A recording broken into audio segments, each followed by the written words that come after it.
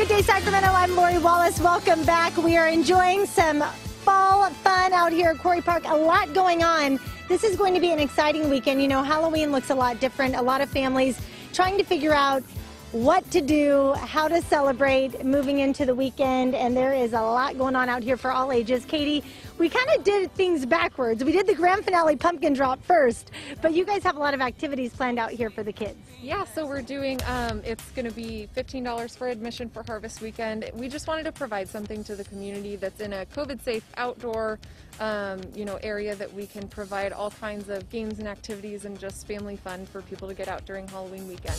And when you take a look around here, you can see that it is very easy to socially distance. You guys have so much space, and you've opened up different areas now that uh, you're opening up to the community. Talk a little bit about uh, that section over there that Scott's pointing at. Yeah, so we're going to end up having uh, some gem mining over there, and then we'll also have our snack bar open. Uh, so we'll be selling concessions. Um, we've got NorCal kettle, some corn dogs dogs, just all kinds of fun um, harvest time foods. Okay, and we got a couple kiddos that showed up for us this morning doing a little rock painting. The costumes are great. I love how the masks tie into the actual costume. So rock painting will be part of what's going on as well. Yep, rock painting, gem mining, all kinds of games, um, which is have ring toss, pumpkin putt-putt, uh, tic-tac-toe, all that good stuff. So we're just trying to get kids outside in a safe manner and let them have fun.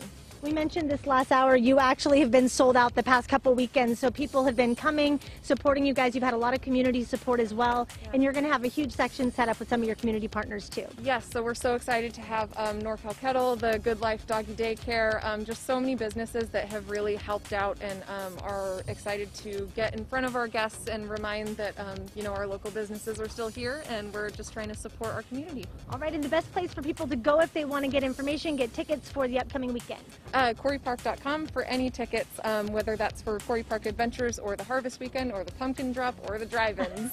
there is no shortage of things to do out here, guys. I'll send it back to you in the studio. Fun stuff. All right. Thanks, Lori.